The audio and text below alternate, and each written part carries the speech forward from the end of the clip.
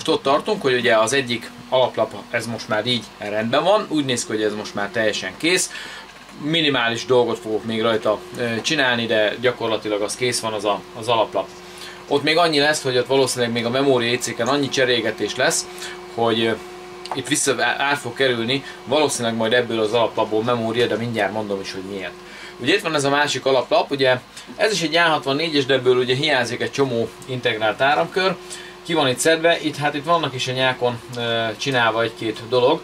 Most a következőt fogom csinálni, ezt én most gyorsan átnézem mikroszkóp alatt, hogy nincs -e valami zárlat, illetve egy-két mérést elvégzek rajta, ugye jellemzően a tápágakat lemérem, és e, meg fogjuk próbálni, ugye az alsó memória bank van benne, tehát csak ugye a a, az alap memória bank van benne az alaplapba, de ez nem baj, mert ugyanúgy, mint a másikat, A32-es romokkal meg fogjuk próbálni elindítani ezt az alaplapot, meglátjuk, hogy mutat-e valamilyen életjelet.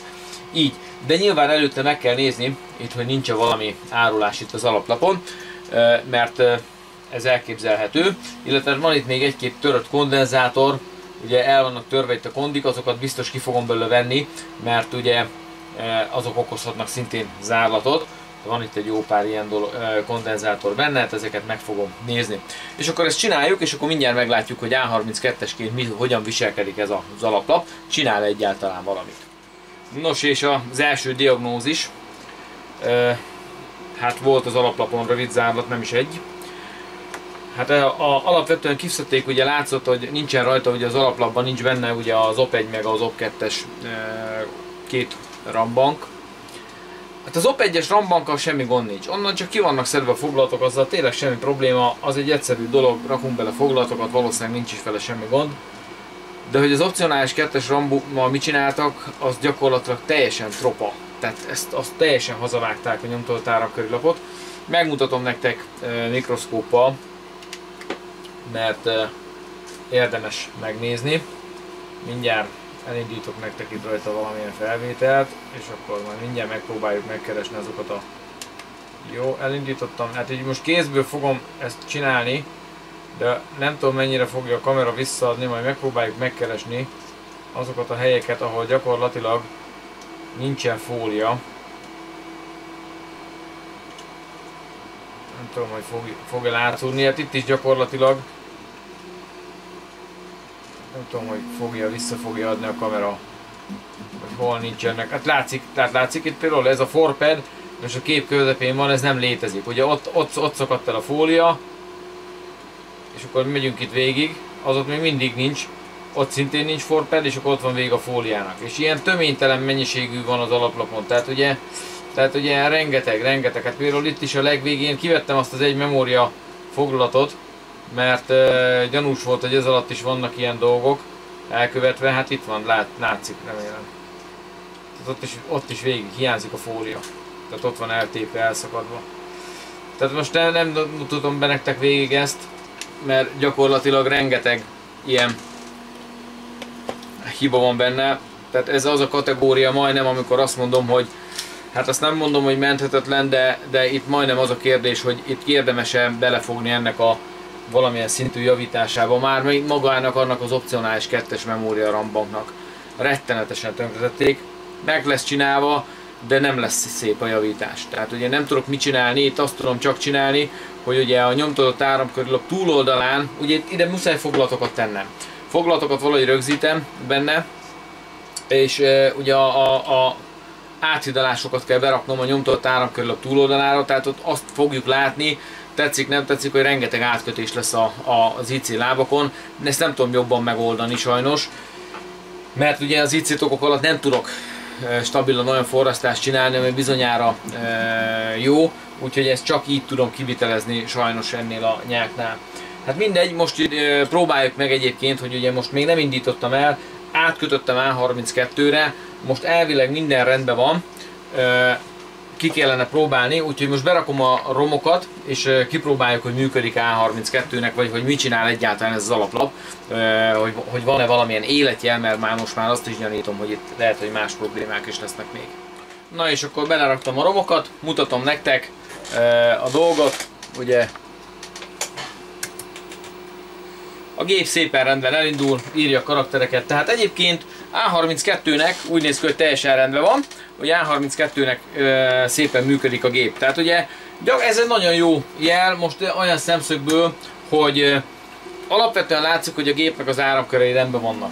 Valószínűleg ramhibás lehetett ez a gép, valaki neki állt kibarmolni belőle a ramokat, és gyakorlatilag úgy látom, mert ugye látszik, hogy az alap egyes ram is van kis ki lett cserélve, tehát itt valamit elkövettek, és gondolom annyira szétcseszték a nyákot, hogy nem is javították tovább, vagy egyszerűen nem is tudom, tehát el nem tudom képzelni, mi történt ezzel a géppel, hogy ilyen állapotba került, de ez egy nagyon jó jel, hogy működik ez a RAM. Na most a következő lesz.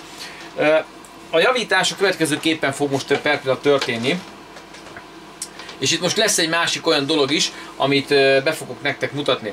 Ugyanis a tulajdonossal én egyeztettem, és már előre megbeszéltük ezt a dolgot, hogy ugye ebbe az alaplapba kellene elég sok, hát ugye minimum 16 darab 41-16, ugye a másik alaplapba is kellett ugye 6 darab 41-16, tehát hogy már ugye 22 darab 41-16. Ugye azt tudjuk nagyon jó, hogy 41-16-okat elég nehéz beszerezni manapság, nem, nem kapható már. Kínában ugyan árulják őket, de nagyon-nagyon kétséges, hogy milyen miért kapsz belőle, ugye ezt is hamisítják, meg eladják a rosszakat, tehát ugye ez problémás. Arról nem is beszélve, hogy ugye ha, ha veszel is 41-16-ot berakod, ugye kérdéses, hogy mikor fog elromlani, mert ugye ezek nem eléggé ö, ö, szeretnek elromlani ezek a ramok. Egyébként ez valószínűleg annak köszönhető, hogy ugye három távfeszültség is kell neki, ugye a plusz-minusz 5 volt, meg plusz 12 volt is kell magának a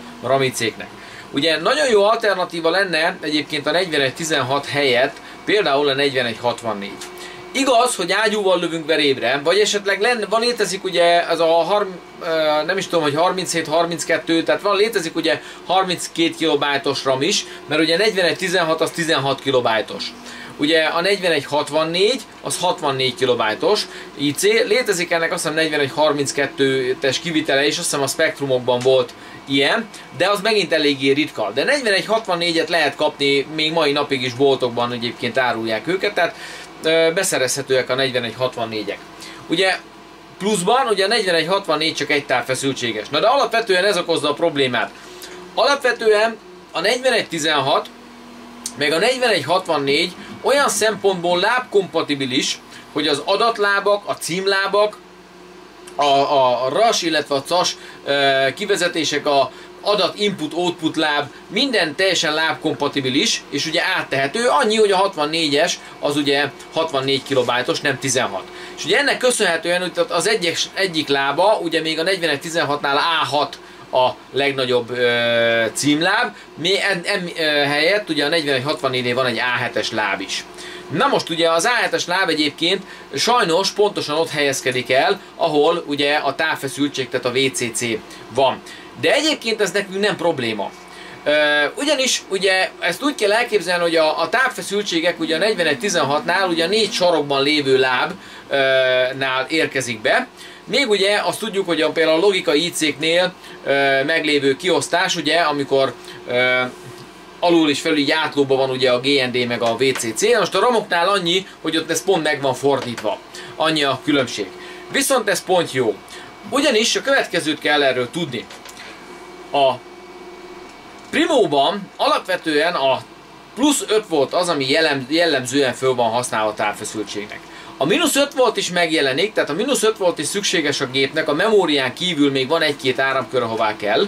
Viszont a plusz 12 volt nem kell sehová, a plusz 12 volt az csupán a memóriákhoz szükséges.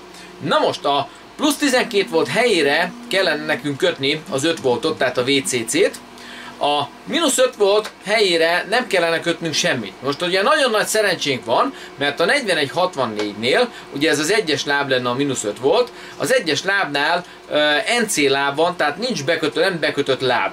Tehát nem probléma, hogy rajta van a mínusz 5 volt, tehát ezzel a lábbal nem kell igazából foglalkozni.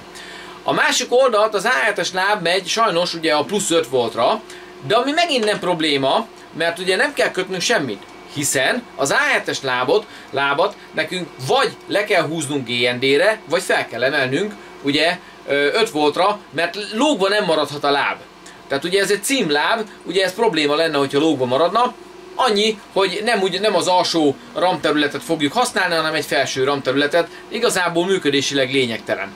Tehát a teendőnk, ha minden jól megy, akkor csupán annyi, hogy az alaplapon a távcsatlakozónál át kell kötnünk az alaplapot úgy, hogy a, az alaplapnál a plusz 12 volt helyére is a plusz 5 voltos távfeszültség menjen. Ugye ennyi az egész. Azt tudni kell, hogy a, nagyobb, leg, a nagy, nagy áramfelvétel az, az 5 volton megy, a 12 volt a memóriáknál itt csak egy ilyen segédtávfeszültség, tehát túl nagy áramfelvétel nincsen, tehát nem fogjuk túlterhelni az 5 voltos ágat. És elvileg, hogyha ezt megcsináljuk, tehát ha a távcsatlakozónál ezt a tápágot átkötjük, akkor mindenféle trükközés nélkül, minden további nélkül berakhatjuk a 4164-es dramokat a 4116-ok helyére. Nagyon fontos, hogyha ezt az átalakítást megcsináljuk, akkor onnantól kezdve sehol nem használható az alaplapon 4116. Tehát onnantól kezdve az összes ramot 4164-et kell berakni, vagy akár 41-256-ot, mert még az is jó bele.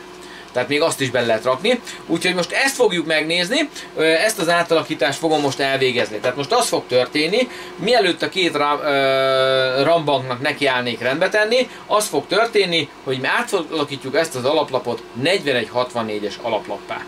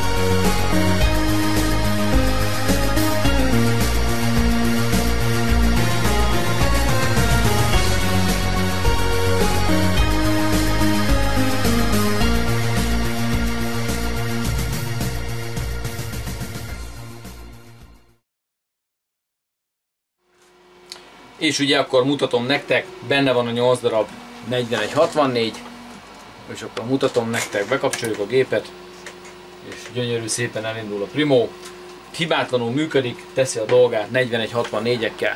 Láthattuk, egyetlen játkötést kell az alaplapon végezni, semmi extra dolgot nem kell elkövetni, és simán átalakítható 4164-re, tehát nem kell pánikolni a 4116 miatt, az a nagyobbi probléma igazából itt, hogy ugye nincsenek az IC foglalatban. Tehát ugye ez a legnagyobb gond, és ugye az alaplapot viszont át kell foglatozni. Tehát, illetve vegyíteni nem lehet. Tehát ugye azt nem lehet, azt most is elmondom fel, van figyelmet mindenkinek, hogy vegyíteni nem lehet. Tehát vagy 41-16 van, vagy 41-64, illetve a 41-64-et meg a 41-256-ot azt be lehet rakni. Tehát ugye itt még van egy ilyen lehetőség. Ugye ezt azért mondom, mert 41.256 régebbi PC alaplapokban is előfordult, tehát fellelhető, meg ilyen PC és memória bővítőkben is használták. Azt is lehet hozzá használni, tehát azzal is működik, ugyanígy be lehet rakni. És akkor most semmi más nem fog ezek után következni, mint az, hogy most már valójában ténylegesen megpróbáljuk helyre rakni. Ugye most az, azon gondolkoztam, hogy azt fogom csinálni, megpróbáljuk az egyes opcionális opció egyes rambankot helyre rakni, és megnézzük, hogy úgy tudjuk-e indítani. Ugye megnézzük, hogy A48-nak el tudjuk-e így indítani az alaplapot, elvileg el kellene tudni. Ha már érdekes módon a másik alaplapnál ott küzdöttem, mert A48-nak az Isten nem tudtam összerakni, és hogy menjen, majd meglátjuk ennél, hogy ez sikerülni fog-e rakom bele a foglalatokat. Ezt nem fogom videózni, mert ezt láttátok, ugyanúgy fog belekerülni a foglalat, mint a másik alaplapnál, tehát ugyanúgy lecsiszolom a foglalatoknak az oldalát, úgy fogom berakni magába az alaplapba, és akkor amint benne van, folytatom a videót, és akkor megnézzük, hogy mik a fejlemények ezzel. És akkor elkészültem ezzel az alaplappal, ugye beleraktam a plusz az opció 2-es RAM-hoz is a foglatokat. Hát nem lett a legszebb a nyáknak az alja, tele van mindenféle vezetékkel. Hát ugye, ahol, ahol föl volt szakadva a nyák, azokat ugye utólag ki lettek mérve, hogy hol nincs meg a megfelelő érintkezés, és oda rövid átkötő vezetékeket, ilyen lakkozott húzalból. Hát picit ilyen sziszifuszi munka, főleg amikor már ilyen nagy számú vezeték sérült. Majd most még annyit meg fogok tenni, most látjátok már itt van a gép a hátam mögött, ugye be van kapcsolva, ugye működik is maga, van a képernyőn most már ugye kép, ugye látszik teljesen jó működik, benne van ugye az alaplapban mind a 60, 48 KB RAM. Elvileg most már az alaplap teljesen rendben van. Ugye most akarom majd egyébként próbálni, még nem próbáltam ki, mindjárt elkezdünk valamilyen programot betölteni. El is indítom, és akkor közben utána még töltődik be a program, addig beszélek egy kicsit még más dolgokról is. Nagyon egyszerű egyébként a dolog, kiválasztom itt a ez a nagyon jó kis kollárzoli féle kis Z80 téppel töltöm be, ez egy rettenetesen jó kis szerkezet, tehát ez, ez, ez, egy kötelező darab, én azt gondolom mindenkinek, aki ilyenekkel foglalkozik. Primo, Open File, és akkor azt hiszem, hogy látok, csak lehet, hogy nem is jót választottam.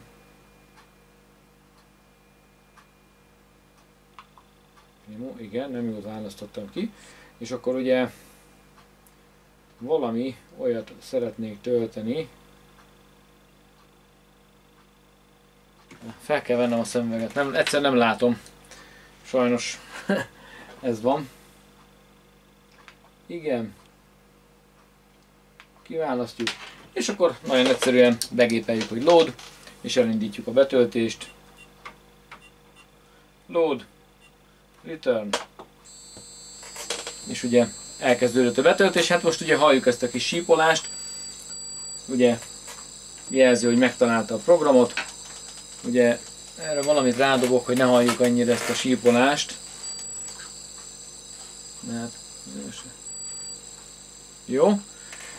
Na és akkor billentyűzetről szerettem volna még egy picit beszélni. Ugye ezt a billentyűzetet is rendbe raktuk, ugye egyébként egy potméter hiányzott belőle, meg itt volt benne egy-két átkötés. Na most, ö, amit trükköt el lehet végezni ezeken a billentyűzeteken, amivel nagyon sok ö, nagyon, nagyon jó minőségjavulást lehet elérni egyébként a használatban. De nagy problémája ezeknek a billentyűknek az érzékenység. Ugye van a hátulján egy potméter, ugye itt van egy Primo billentyűzet, ugye itt van egy Primo billentyűzet, ugye található rajta itt egy trimmer potméter, ami lehet állítani az érzékenységét. Igen ám, csak ugye az szokott a baj lenni, hogyha megnézzük a billentyűzetet, ugye ez egy kapacitív billentyűzet, és ugye alapvetően ugye a gomboknak a mérete nagyjából egyforma, kivéve a space-t, mert ez egy jelentősen nagyobb felület, illetve a shiftek, mivel a két shift is összeadódik, tehát ugye a két shift is viszonylag hosszabb lesz. Ugye ennek az a következménye, hogyha egy bizonyos érzékenység fölé állítjuk a, az érzékenységét a billentyűzetnek, akkor ugye ezeken a nagy fényfelületeken, mivel ezeken nagy fényfelületek e, már annyi szórt kapacitás meg fog jelenni, hogy érzékelni fogja, és akkor ilyenkor jön az, hogy magától nyomja a space-t, vagy magától nyomja a shiftet a billentyű. Ugye, ha ezt visszavesszük annyira, hogy ez ne történjen meg, akkor ugye az történik, hogy a többi billentyűnek is az érzékenysége romlik. És e, ugye ilyenkor jön az, hogy ugye nem lehet olyan kényelmesen, mert rá kell egészen új begyel, billentyűzni, és úgy kell vele dolgozni, és hát valljuk őszintén nem a legkényelmesebb használni. De ezen lehet javítani, ez nem egy új keletű trükk, ez egy régi trükk, ugye kapacitásokról beszélünk, ugye gyakorlatilag ugye megváltozik a kapacitás, amikor hozzáérünk a kezünkkel. Ugye a kapacitásoknak, ugye mivel nagyobb felület, nagyobb a kapacitás, tehát csökkenteni kellene a kapacitását ezeknek a felületeknek, és ezt meg lehet tenni egy soros kondenzátorral. Ugye a következőt kell tenni, ugye ezen a billentyűzeten most ezt még nem látjátok, mert ez, ez egy teljesen gyári billentyű, de ugye van a shifteknek, meg van a space-nek a vezetéke, ezeket el kell óvatosan vágni ezeket a fóliákat, ezen már megcsináltam egyébként, el kell vágni óvatosan a fóliát, és a következő kondenzátorokat kell, a Space-nek a vezetékére egy körülbelül 47 pikofarádos kondenzátort, még a shiftekhez egy ilyen 15-18 pikofarád környéki kondenzátort kell beforrasztani. Tehát elvágni a nyákot, megvágni, és akkor oda egy soros kondenzátort beforrasztani, és ezután az érzékenységet jóval jobban föl lehet állítani.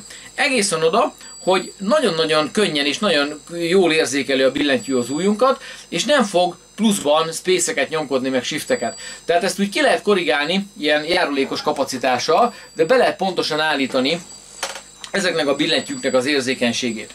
Ugye azt erre kell mondani ezekről a billentyűzetekről még, ugye ennek is felmerült a javításánál, nem ennek, hanem a másiknak, hogy ugye ebben is van egy jó pár integrált áramkör, és ugye ezeknek az integrált áramkörök közül alapvetően a legnagyobb problémát, ugye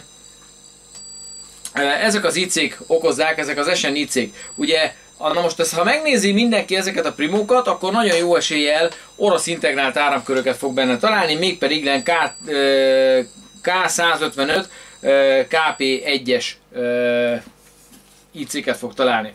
Ugye ez azért van, mert az orosz integrált áramkörökkel jobban működött ez a kapacitív billentyűzet, mint a ö, többivel. Ugyan még ezeket is válogatták össze, de az az igazság, hogy annak van jó esélye, hogyha sikerül ilyen IC-t vennetek, akkor ugye ilyet érdemes vásárolni, hogyha ilyen ment benne tönkre. Egyébként lehet venni az eBay-en Ukrajnából, Oroszországból viszonylag olcsón be lehet szerezni ezeket az integrált áramköröket, tehát ugye ezekkel nincsen probléma. És közben nézzük meg, betöltött maga a játékprogram. Hát ugye látjátok, megmutatom nektek, ugye egy kicsit úgy közelebbről is, de teljesen jól működik. Hát nézzük meg a játékot, ugye érzékeli, returnre indul, teljesen jól érzékel a billentyű. Ugye tudok menni elő jobbra-balra. És tényleg, tényleg nagyon finoman, tehát nem kell nyomni, nagyon finoman működik.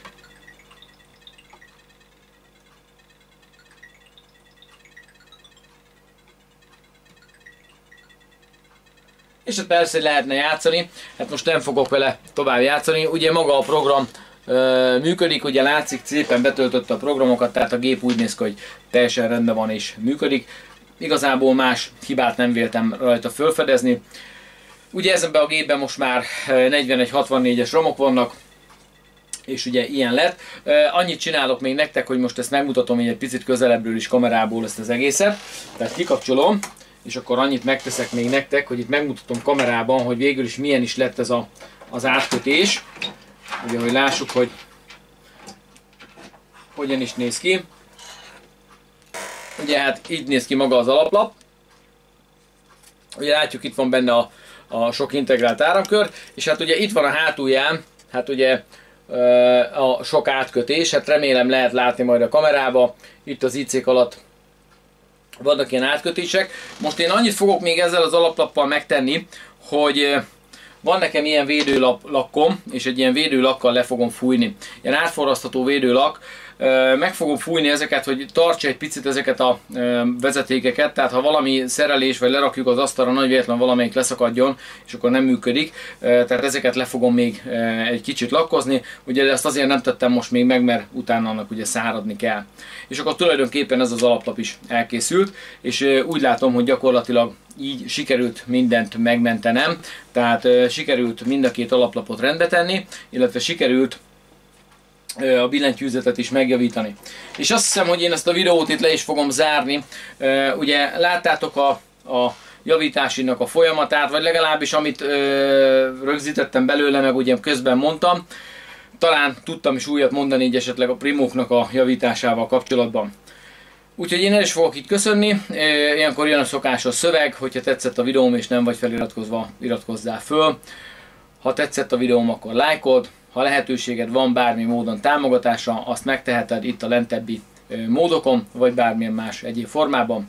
Köszönöm a figyelmet, elköszönök tőletek, sziasztok!